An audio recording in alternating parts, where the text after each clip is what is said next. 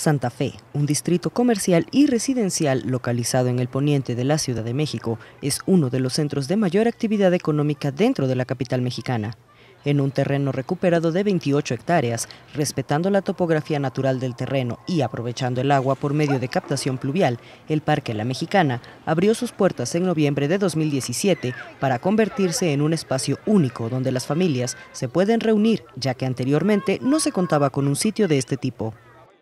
Me parece la, localización muy buena, eh, es un contraste entre una zona donde hay muchas oficinas, una zona habitacional residencial y pues eh, te ayuda a salir de tu rutina, de tu lugar de trabajo, del, ruido, de los autos, porque es un lugar pues muy tranquilo. Con 2 mil millones de pesos invertidos en el reacondicionamiento, el parque brinda circuitos de tartán especiales para correr, patinar o andar en bicicleta. Además, cuenta con una zona canina con secciones para agrupar a los perros dependiendo de su tamaño y que puedan correr libremente, y un área infantil con juegos giratorios, tirolesas, columpios y divertidas resbaladillas, una de ellas con arenero incluido e incluso un skate park. Que pues cuando estamos en las rampas nuestro papá lo enseña y a veces vamos a unas tienditas que pusieron y después Em,